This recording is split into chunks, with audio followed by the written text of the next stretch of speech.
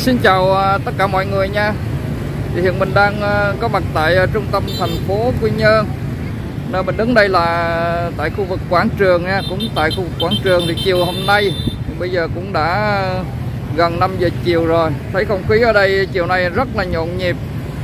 Mọi cái vấn đề để chuẩn bị đón giao thừa đón Tết Thì ở khu, ở đây thì người ta đã chuẩn bị xong rồi nha. Đó ở khu vực này thì à, ngoài à, cái biểu tượng linh vật ra thì còn có một à, vài cái hoạt động, một vài cái công việc. Chẳng hạn như là người ta xây dựng cái chòi để hô bài chòi nè, rồi cắm cái, các cái cây nêu. Mỗi phường như vậy là một cây nêu. Và có thêm một cái hoạt động nữa năm nay, đó là hoạt động múa lăng đó, thì để mình quay lòng vòng các bạn xem khu vực này nha.